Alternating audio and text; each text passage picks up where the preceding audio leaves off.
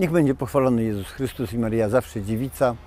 Witam Państwa w cotygodniowym felietonie Głos Polski. Szanowni Państwo, e, ostatnio mogliśmy się zapoznać z wypowiedzią pana e, premiera Waldemara Pawlaka, a dokładnie wicepremiera w rządzie Donalda Tuska na temat struktury władzy i wpływu politycznego w Polsce. No, to jest człowiek niewątpliwie bardzo kompetentny w tej kwestii, wielokrotny e, premier, wicepremier, minister, e, bardzo doświadczony e, polityk i on w wypowiedzi swojej mówi zupełnie jednoznacznie. To TVN, to takie media jak Onet, być może wymienia jeszcze inne, ale te dwa zapamiętałem dokładniej, dokładnie, mają nieporównanie większy wpływ polityczny w Polsce niż związki zawodowe, stowarzyszenia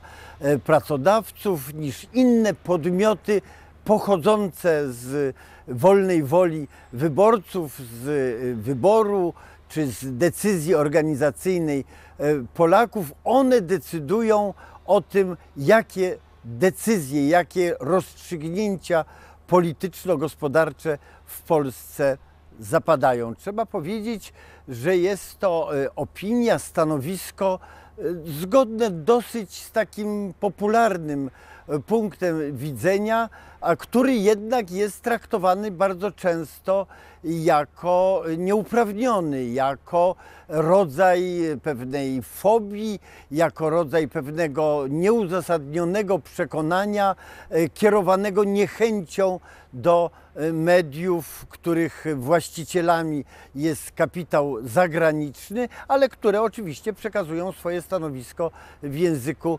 polskim i działają na terenie e, Polski. E, Ta sprawa ma olbrzymie znaczenie, dlatego że dzisiaj w Polsce rozstrzyga się, czy władza będzie pochodziła z wyborów, czy to wolna wola Polaków realizowana poprzez powszechne wybory. No tak jak w najbliższym czasie powszechne wybory do samorządu terytorialnego, zarówno gminnego, jak i wręcz sejmikowego, a więc reprezentującego wiele milionów ludzi, czasami więcej niż y, w wielu państwach europejskich. A więc czy ta wola będzie rozstrzygała o pieniądzach, o strukturze władzy, o gospodarce, także o decyzjach politycznych, czy na przykład te media, które wymienił pan Waldemar Pawlak. Ja nie wiem, czy pan Waldemar Pawlak ma rację, czy racji nie ma,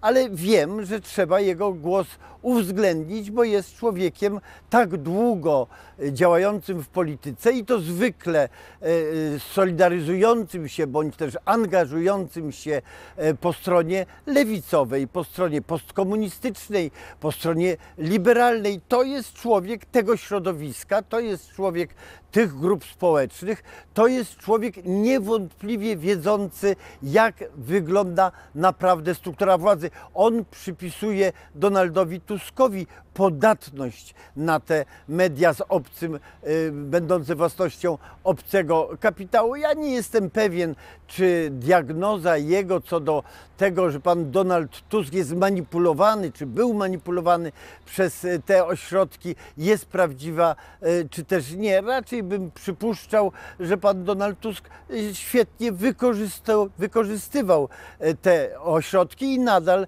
jest gotów tu robić, ale nie chodzi tutaj o relacje między panem Donaldem Tuskiem a tymi mediami. To jest ważna kwestia, ale osobna.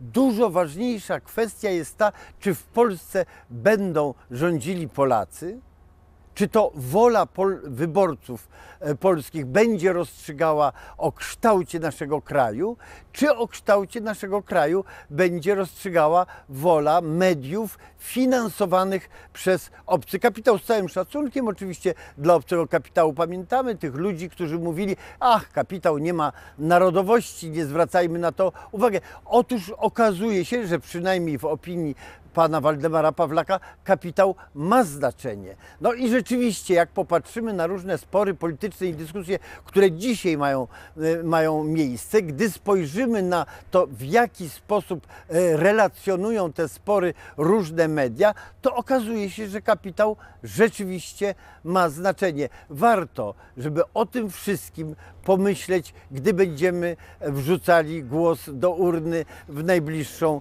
niedzielę. Warto się zastanowić nad tym, czy działanie rządu Prawa i Sprawiedliwości nastawione na to, żeby jednak przywrócić głos polskiej opinii publicznej, żeby jednak podejmować decyzje w oparciu o to, jak myślą i jak działają i jak chcą rozstrzygać własne sprawy Polacy, że jednak on ma pewne znaczenie. Warto, wrzucając głos do urny, poprzeć kandydatów Prawa i Sprawiedliwości, bo przy wszystkich wadach jedno jest pewne: to są ci ludzie, którzy będą chcieli przywrócić w Polsce władzę Polaków.